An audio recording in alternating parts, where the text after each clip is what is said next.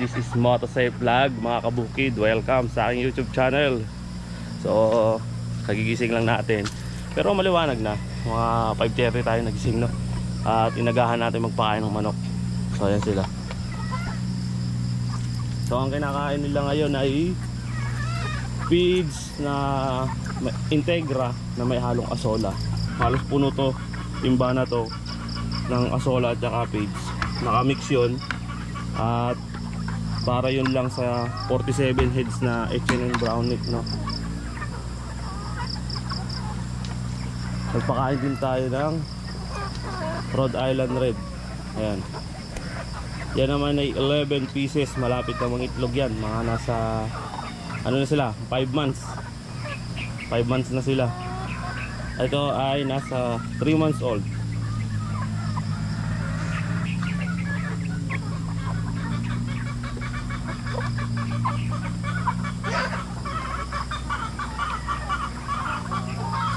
Yan lang naman ang ginagawa ko dito araw-araw pagka nandito sa Rizal at tuwing weekend. No? Yan. Yang mga manok na nakikita nyo sa mga vlog ko ay hindi po yan native chicken, no? Ah, hindi yan katulad ng mga pag-aalaan na kadalasan nakita natin sa probinsya.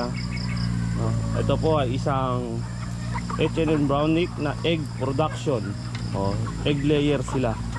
Yung maraming mangitlog. Ang isang manok ng H&N Brownick ay kayang mangitlog ng mahigit o kumulang 300 pieces sa isang taon ang isang manok. Yan po yung brown egg. Okay. And then maiba tayo no. Doon nga pala sa mga subscriber ko na nag-aantay ng content ng aking Lalamove part-time delivery rider. Ah, ngayon pa lang po humingi na ako ng pasensya kasi nga ho hindi ako makapag-upload ng mga ganong content kasi kilala nyo naman ako na doon ako nakakilala sa Lala Move part-time na content. So pasensya na ho kayo at hindi ako nakapag-upload kasi nga ho tumigil muna ako sa pag sideline bilang ah, delivery rider kay Lala Move dahil sa sitwasyon na maulan no? Napaka-hassle. Alam na mga delivery rider yan pero saludo ko sa mga full-time delivery rider. Anumang ah, company ang pinagtatrabahuan nyo kasi kahit maulan para pas, ah, lumalabas pa rin tayo para sa pamilya natin no? So saludo ako doon sa mga full time at saka part time lalamove rider o at ano pang mga delivery rider food panda grab gra, grab food yan.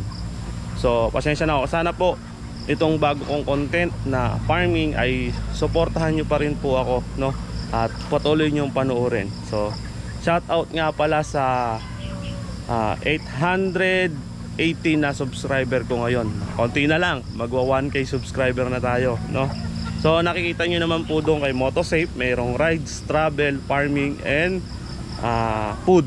So isa po doon yung isa sa mga content natin is yung mag-farming.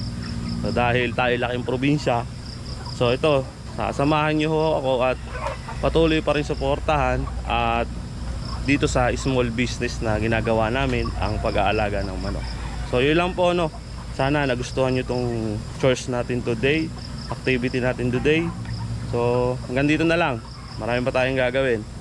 At mag-iingat po kayo palagi. Peace!